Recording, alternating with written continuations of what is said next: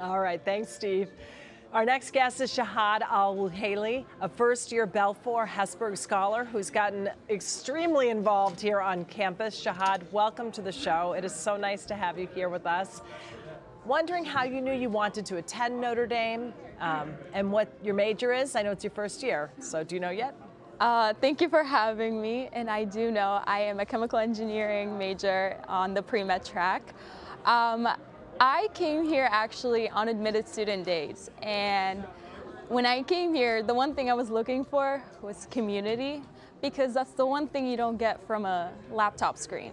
So I was here with my dad and with first day, first night, after meeting the people, the upperclassmen, the people that welcomed us, the professors, I just, I knew this was the place I was gonna go. And I actually ended up committing that night.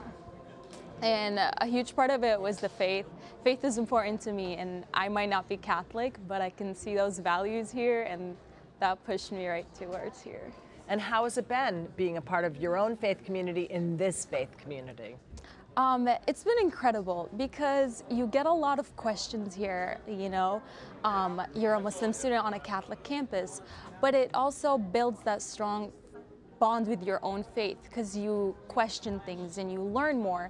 And the best way to, you know, believe is to know more. So by asking questions and answering questions, um, I've become closer with my own faith as a Muslim on a Catholic campus.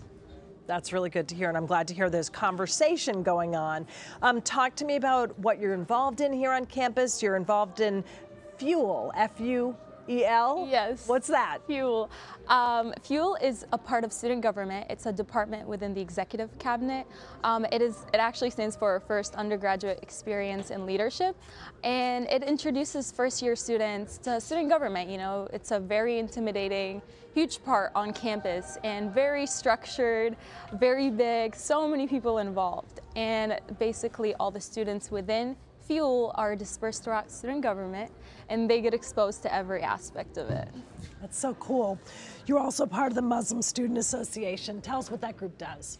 Um, the Muslim Student Association not only builds a community for the Muslims on campus, uh, we are very close and we've been building that community every every week, every meeting, but it's also a community that invites non-Muslims to come and learn, you know, open that dialogue between different faiths. And um, I think the best way to learn about your own faith is by questioning and talking to other people. And so actually we had an Islamic Awareness Week for the first time in a couple of years this year. Um, and we, one of those days was interfaith, and it was an opportunity for anyone to show up. You know, it's, it's a community for Muslims, but everyone is welcome. That's great. And what have you learned about leadership here? Um, I've met so many leaders, and I can say the one thing that truly is inspiring about all of them is how motivated they are.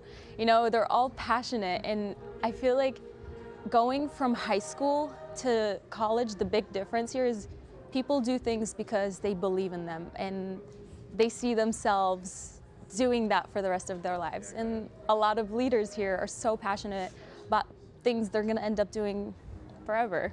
And you're only in year one. What's coming up next for you? You said you have a big summer planned. uh, this summer, I will be going to Colorado, Denver.